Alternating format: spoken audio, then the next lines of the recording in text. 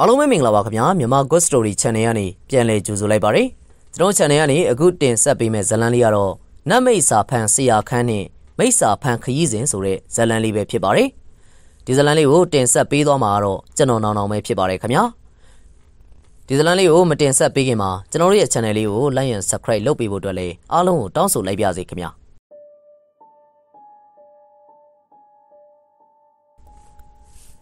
မိတ်စာဖမ်းတဲ့အဖွဲ့တွေစုဝေးလိုက်ကြဟဲ့အတင်းဝင်မင်းရဲ့အမိန်တော်ပါတယ်အတင်းဝင်မင်းရဲ့လူယုံတယောက်ကသတင်းပေးတာကြောင့်လေသူတို့အားလုံးခံတက်အတွင်းပိုင်းမှာရှိတဲ့အတင်းဝင်မင်းရုံးဆိုင်ရာအခန်းထဲကိုပြေးဝင်လာကြတယ်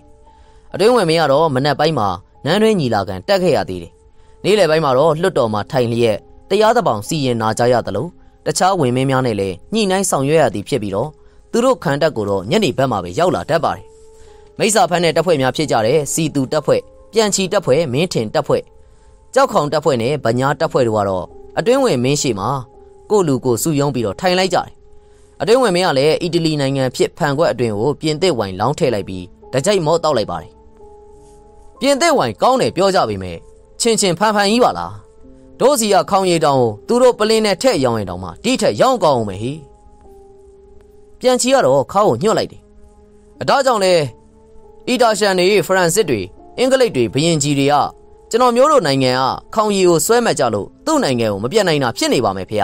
။ညနေလိုမျက်နှာရလှုပ်တတ်တဲ့ပြန်ချီကတော့အတွင်းဝင်မင်းကိုပြောလိုက်တော့လေအတွင်းဝင်မင်းကမျက်မှောင်ကျုပ်လိုက်တယ်။ပြန်ချီရေမင်းသာဘရင်အနာခစားလို့ကတော့အလိုတော်လိုက်နိုင်လို့စုတော်လက်တော်တွေရမှာကွာ။ဒါပေမဲ့ငါဘရင်လိုမဟုတ်ဘူးကွာ။အပိုပြောရတဲ့သူတွေမကြိုက်ဘူး။အတွင်းဝင်မင်းကပြန်တုံ့ပြန်လိုက်တာကြောင့်လေပြန်ချီတယောက်မျက်နှာပြက်သွားပါတယ် သူတို့မပြန်ဘူးဆိုတာသူတို့အနောက်နိုင်ငံသားတွေကအချေတိုင်းနိုင်ငံတွေကိုတိုက်ခိုက်ပြီးကိုလိုနီလှုပ်ချင်နေကြတာမဟုတ်လားအဲ့ဒါကြောင့်လဲဘာအခွင့်အရေးရမလဲဘာသတင်းရမလဲဆိုပြီးတော့ချင်းကပ်ထောက်လန်းနေကြတာကွာမှန်ပါပြန်ချီတခွန်းသာပြန်ပြောပြီးတော့အနောက်ကိုစုပ်သွားပါတယ်အေးကွမင်းတို့လူဆုံးပြီလားမှန်ပါတွင်းဝင်မင်းသူတို့အားလုံးကတော့ဗျိုင်းတူဖြေလိုက်ပါတယ်အတွင်းဝင်မင်းကတော့သူ့စပွဲပေါ်မှာမြေပုံတစ်ခုကိုဖြန့်ခင်းလိုက်တယ်အတို့ရဲ့မိစ္ဆာတိုက်ထဲမှာမိစ္ဆာတွေရှိတဲ့လောက်ရှိနေပြီဆိုပေမဲ့ ငါအားမရနိုင်သေးဘူးကွယ်ဒါကြောင့်မလို့လဲမင်းတို့နောက်တစ်ချိန်ထပ်မှန်ပြီးတော့အဝေးကိုလွတ်ပြီးတော့မိစ္ဆာတွေကိုဖမ်းဆီးစေမယ်ကွယ်မှန်တော့ပါဝင်းမင်း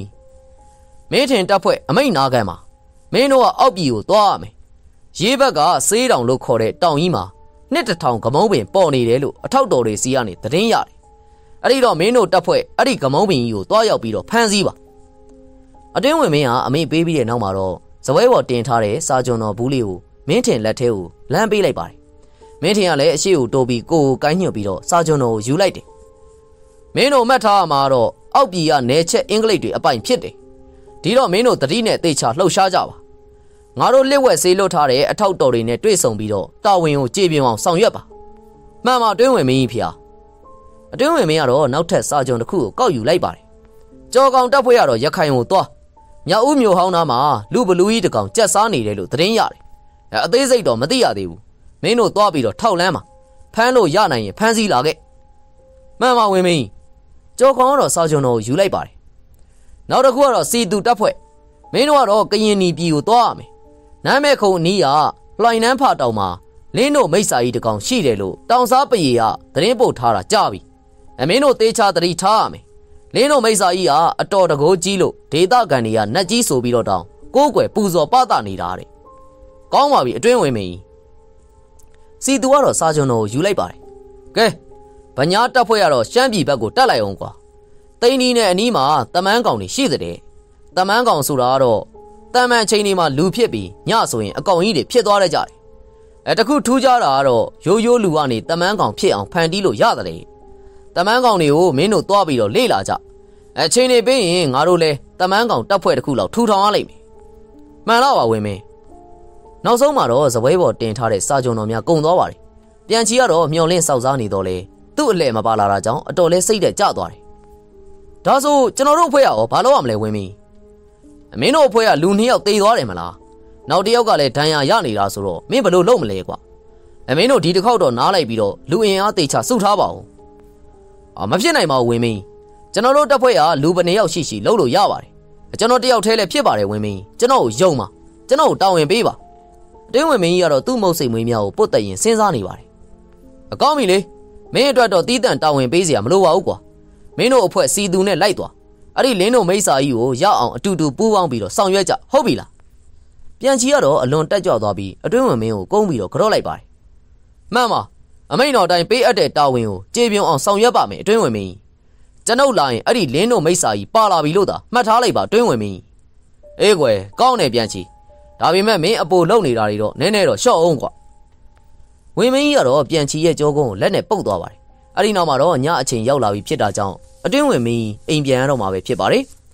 အတွင်းဝင်မင်းကတော့အခန်းထဲကထွက်ပြီးတော့ငခန်းရှိမှာရက်လိုက်တယ်မင်းကငါအားကိုးတယ်နော်ငခန်းအတွင်းဝင်မင်းကျုပ်တခုတောင်းဆိုခြင်းပါတယ်အကျုပ်ကိုရှမ်းပြည်နယ်ကိုတာဝန်ပေးပါအတွင်းဝင်မင်းကတော့ခေါင်းကိုတစ်ဆက်ညှိနေမင်းကအိမ်ပြန်ချင်နေတာပေါ့လေ ငခန်းကတော့ဘာမှမပြောတော့ပဲနှုတ်ဆက်နေလိုက်ပါတယ်အတွင်းဝင်မင်းကတော့ငခန်းရဲ့ပခုံးကိုလက်နဲ့ပုတ်လိုက်ရင်ဒီတစ်ခါရေးတော်ပုံအောင်ရင်မင်းဖြစ်စေခြင်းတဲ့အတိုင်းဖြစ်စေရမယ်ငခန်းငခန်းနဲ့ပျော်သွားပါတယ်အဲ့ဒီနောက်မှာတော့အတွင်းဝင်မင်းကြီးကအပြင်ကိုထွက်ခွာသွားတယ်ပြန်ချီကတော့မတ်တက်ရက်လိုက်ရင်စီသူနဲ့ငခန်းကိုကြည့်လိုက်ပြီးတော့တစ်ချက်မဲ့ပြုံပြုံးလိုက်ပါတယ်မင်းတို့ကြည်ထားစမ်းပါပြန်ချီဆိုတဲ့ငါမင်းတို့ထက်စားရင်အဲ့ဒီလင်းတို့မိစ္ဆာကြီးကိုရအောင်ဖမ်းပြမယ်ကွာ ငခန်းကလည်းဒေါသဖြစ်သွားတော့လေစီသူကတော့ငခန်းလက်ကိုလှမ်းပုတ်လိုက်ပြီးတဲ့နောက်မှာမဲ့ပြုံးတစ်ချက်ပြုံးလိုက်တယ်လှုပ်ဆန်းမှာပြန်ချီရမင်းအစွမ်းကိုငါတို့ကြည့်ရတာပေါ့ကွာပြန်ချီကအခန်းထဲကထွက်သွားပါတယ်သူတို့အားလုံးလည်းခရီးထွက်ဖို့ပြင်ဆင်ကြရတော့တယ်ခရီးထွက်ရန်လိုအပ်တဲ့အသုံးဆောင်လက်နက်ရိတ်ခါပစ္စည်းများကိုစရင်ပြုစုပြီးအဖွဲလိုက်အတွင်းဝင်မင်းရဲ့စရေးထံကိုတင်ပြရတယ်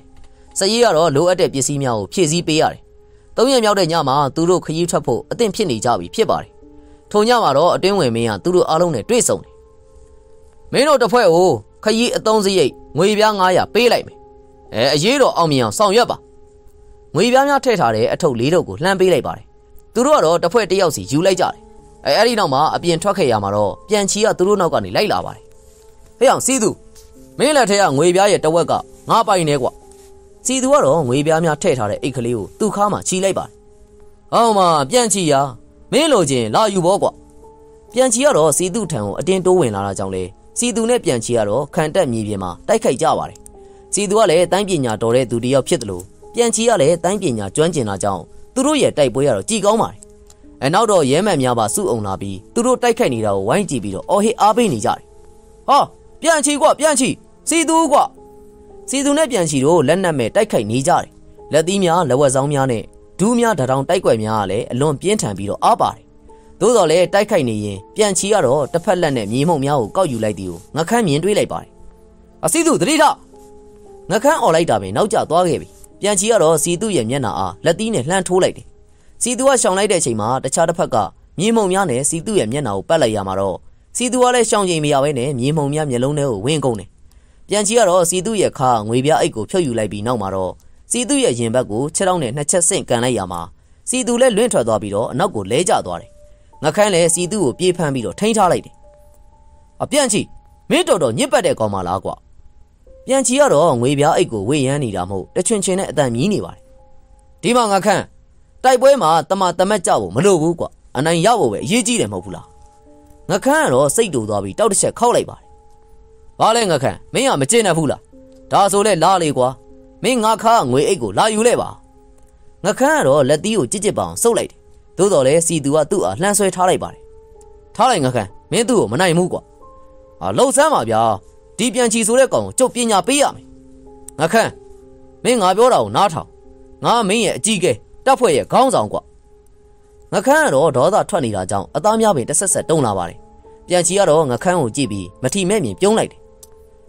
အေးလေကွာမင်းတို့တပ်ဖွဲ့ခေါင်းဆောင်တော့မနိုင်တာ မင်းလိုကောင်ငါ့ကိုနိုင်ပါတယ်လားကွာကဲသွားပြီဟေ့ဒီမှာငခန်းမင်းမကျေနပ်ရင်ဟောဒီငွေပြားတွေကိုအချိန်မရွေးပြန်လာယူလို့ရတယ်နော်ပြန်ချီကတော့ငွေပြားအိတ်ကိုခါးကြမှာထိုးလိုက်ပြီးတရွရွနဲ့ရှောက်လန်းသွားပါတယ်ရဲမက်တွေကတော့ပွဲကြီးပွဲကောင်းကြည့်ရမယ်မှတ်တော့လေမှန်းချက်နဲ့နှမ်းထွက်မကြိုက်တာကြောင့်စိတ်ပြက်ကုန်ကြတယ်သူတို့ရံပွဲကိုခံတက်မျောစင်မော်ကခံတက်မှုနဲ့အတွင်းဝင်မင်းတို့ကမတ်တက်ရက်ပြီးတော့ကြည်နေကြပါတယ်ခံတက်မှုကတော့ငခန်းနဲ့ပြန်ချီတိုက်ရင်ဘဒူနိုင်မယ်လို့ထင်တယ်လေဝင်မင်းရဲ့ လက်နက်မဲ့ဆိုရင်တော့ပြန်ချီကိုငခန်းရှင်လို့မရနိုင်ဘူးပြန်ချီကဘန်တိုကောင်းတယ်အဲသူ့ကိုလက်နက်မဲ့တိုက်နိုင်တဲ့သူကငါတို့ခန်းတက်ထဲမှာရှိလို့လားအတင်းဝင်မင်းစကားကြောင့်ခန်းတက်မှုကပြုံးလိုက်ပါတယ်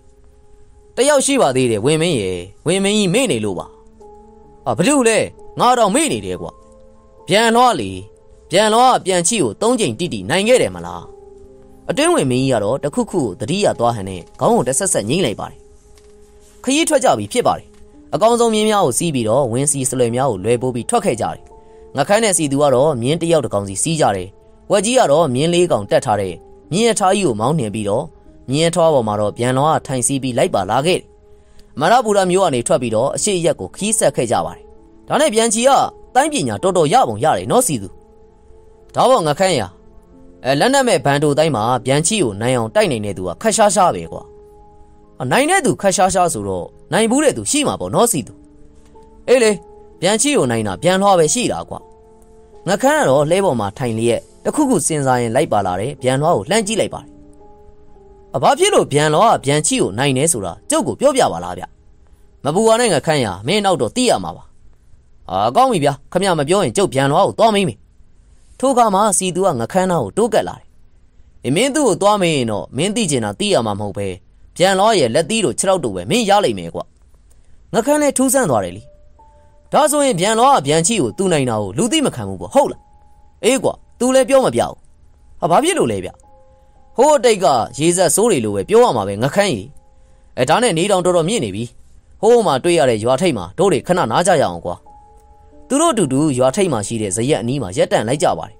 အထိုနေရာမှာတော့မုတ်ဖိုကလေးရှိနေပြီးခရီးသွားတဲ့လမ်းမကြီးဖြစ်တာကြောင့်လည်းခရီးသွားများနဲ့စီကားနေတယ် သူတို့လည်းမြင်းများကိုရက်နာပြီးတော့ဇရက်ရှိမှချီနှောင်ထားပြီးမုတ်ဖိုလေးများအတွင်းကိုဝင်ခဲ့ပါတယ်ဘာမုတ်ရလဲဗျရသမျှအကုန်ချဗျဝက်ကြီးကပြောလိုက်တဲ့ခါမှာတော့မုံတွေကလည်းမုတ်လေးများလာချတယ်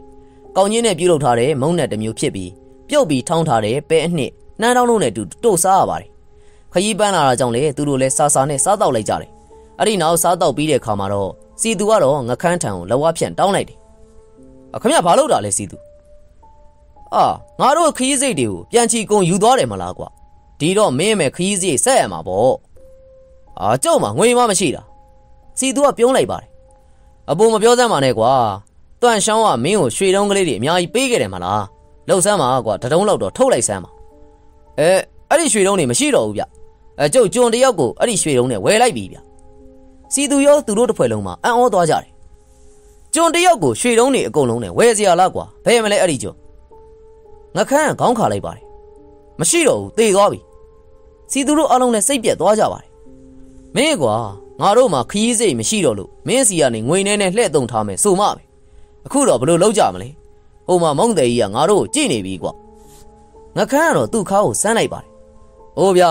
ကျောက်တို့ကအနက်ရောင်ရဲမက်တွေပဲဘာကြောက်စရာလို့လို့လဲဟာအနက်ရောင်ရဲမက်ကမြို့တော်ထဲမှာပဲရတာကွာအခုအပြင်မှာပြဿနာရှာရင်ငါတို့ကိုလိုက်ရှင်းပေးမဲ့သူမရှိဘူးဆိုတာမင်းသိရလား စီသူတို့အကုန်လုံးလည်းအကြက်ရိုက်နေကြပါတယ်ဝက်ကြီးကတော့သူစားထားတဲ့မုံနေရတော်တော်များတာကြောင့်လေမျက်နှာပြက်နေတယ်စီသူကတော့ဝက်ကြီးထံကိုလှည့်လိုက်ပြီးဝက်ကြီးမင်းမှာပတ်စံမပဘူးလားအာကျုပ်အကုန်သုံးလိုက်ပြီဗျပြန်တော့မင်းရောအာခရီးစည်းရမယ်ထင်လို့ကျုပ်ငွေအကုန်အိမ်မှာထားခဲ့တာပေါ့ငါခန်းကတော့စီသူကိုကြည့်လိုက်တယ်အဒါနဲ့စီသူခမရရောငွေမပါဘူးလားဟဲ့အောင်ငါခန်းငါမှမရရှိရောက်နဲ့ကလေးကတကြီးလောက်ရှိတာကွာသူတို့စရိတ်ကနဲသလားကွာ ထို့အခါမှာငခန်းအာရပါရရီမောလေရမှာတော့သူတို့လည်းငခန်းကိုထူးဆန်းစွာကြည့်လိုက်တယ်ဟဲ့ငခန်းမင်းကဘာလို့ရီတာလဲဘာရီစရာပါလို့လဲငခန်းကတော့သူ့ခါးကြတွင်ကနေရွှေပြားတစ်ပြားကိုထုတ်ပြီးတော့ဇပွဲပေါ်ကိုတင်ပေးလိုက်ရင်လည်းမဟုတ်ပါဘူးဗျာခမရတို့ရုပ်တွေကိုကြည့်ပြီးတော့ရည်ချင်းနေတာဗျရော့ဗျာဒီရွှေကကျုပ်နတန်ကောင်ကြီးကိုတက်ပြီးတော့အတွင်းဝင်မင်းစုချပေးထားတဲ့ရွှေဗျသူတို့အားလုံးလည်းပျော်သွားကြပါတယ်စီသူကတော့ရွှေပြားကိုကောက်ယူလိုက်တယ် ဟာဒါအများငခန်းရာမင်းကငါတို့ကိုအကြက်ရိုက်နေတာကိုကြည့်ပြီးတော့တော်တော်ပျော်နေတယ်ဗဟုတ်လားသူတို့လည်းခရီးဆက်လာခဲ့ကြပါတယ်ညအချိန်မှာခိုးသားတယ်များများရှိတာမလို့လေတန်မှန်ခရီးသွားများကတော့ခရီးမဆက်ကြတော့လေသူတို့ကတော့အမောင်တူကိုအားပြုပြီးတိတ်တိတ်ဆိတ်ခရီးဆက်လာခဲ့ကြတယ်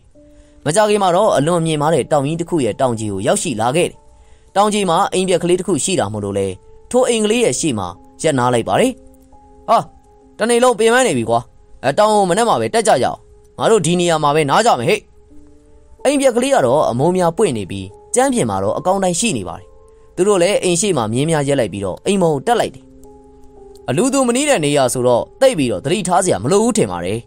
စီသူကတော့ကျမ်းမော်မှာလှဲအိတ်လိုက်ပါတယ်ဝက်ကြီးကတော့သူတို့စကားပြောနေတဲ့အချိန်မှာပဲတခေါခေါနဲ့အိမ်မော်ကျနေပြီပြန်တော့ကတော့အိမ်နိုင်တိုင်တိုင်ကိုမှီရင်အိတ်နေတာမို့လို့ငခန်းကတော့အိမ်ပြင်ကိုထွက်လာခဲ့တယ်ညမောင်ကြီးအောက်မှာတောင်ကြီးကလည်းမဲမောင်နေပါတယ် တောင်ကြီးဖြစ်တာမလို့လဲရာသီဥတုကအနှဲငယ်အေးစိမ့်လာတယ်ငခန်းလည်းတောင်ကြီးများကိုတွေ့တဲ့အခါမှာသူ့ရဲ့ငယ်ဘဝကိုအမှတ်ရသွားတယ်အဲ့ဒါနဲ့ပဲလှဲပေါ်ကိုခုန်တက်လိုက်တယ်ကောင်းကင်ဘုံကိုကြည့်နေတဲ့အခါမှာကျယ်ရီကလည်းစုံလင်းနေပါတယ်ရှဲဆိုင်မကြခင်ငါမင်းစီကိုပြန်လာခဲ့ပါမယ်မင်းတို့အထင်လွဲနေတာတွေအားလုံးကိုငါရှင်းပြပါမယ်ကွာခရီးပန်းလာပြီဖြစ်တာကြောင့်ငခန်းလည်းအိပ်ပျော်သွားပါတယ်နားထဲမှာလူတန်တွေကလည်းစူညမ်းနေတယ်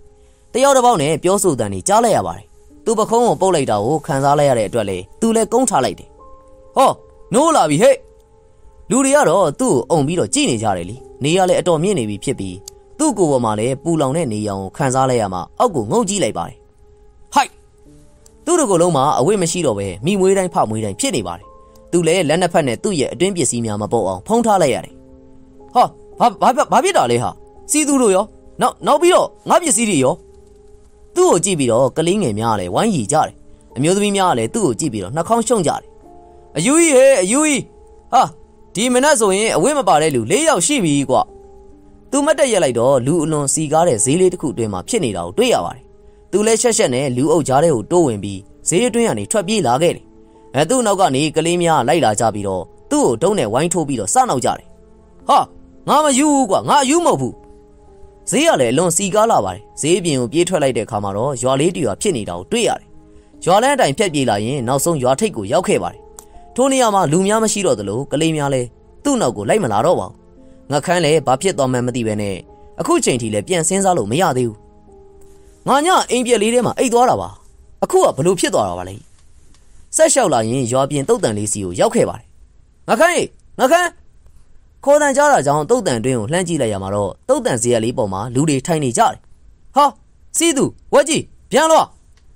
ငါခန်းနဲ့ကိုတုံးလုံးနဲ့ဇေယျကလေးစီကိုပြေးသွားလိုက်ပါတယ်စီသူတို့ဝက်ကြီးတို့ကလည်းရှမ်းဝစ်စုံများကိုဝစ်စင်ထားကြတယ်